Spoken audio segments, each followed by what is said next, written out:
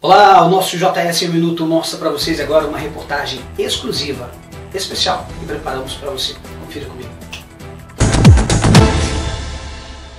Foi controlado por volta das 19 horas deste último domingo um incêndio de grandes proporções que atingiu uma distribuidora de óleo na rua Major Delfino de Paula, no bairro São Cristóvão, na região noroeste de Belo Horizonte. De acordo com o Corpo de Bombeiros, o fogo teve início por volta das 13h40 da tarde. 16 viaturas e 61 militares foram empenhados no trabalho de combate ao fogo. Um caminhão-pipa foi utilizado e, segundo estimativa, foram gastos mais de 200 mil litros de água. Além da água, os bombeiros usaram um produto chamado líquido gerador de espuma, conhecido como LGE, um detergente líquido concentrado para o combate de produtos combustíveis. Conforme relatos dos bombeiros, o trabalho de rescaldo teve previsão para durar até a madrugada dessa última segunda-feira. As chamas altas e a fumaça levaram pânico e preocupação para os vizinhos. Uma das famílias que ficou desesperada é a do motorista Emerson Alves Rodrigues, de 41 anos, que mora na rua onde houve o incêndio e que é vizinho à empresa. Ele criticou a demora no atendimento da ocorrência. Disse que o fogo começou há mais de uma hora. Ligamos imediatamente para os bombeiros e para a polícia e houve demora. Eles jogaram água por cima do óleo e o fogo se alastrou para o meio da rua, consequentemente ameaçando os outros imóveis,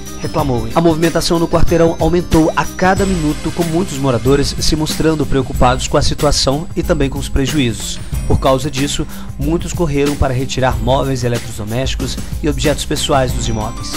Eles foram ajudados por outros vizinhos e até mesmo pela Guarda Municipal e a PM. James Helena de Belo Horizonte, para o JS em um minuto. É, sem comentários.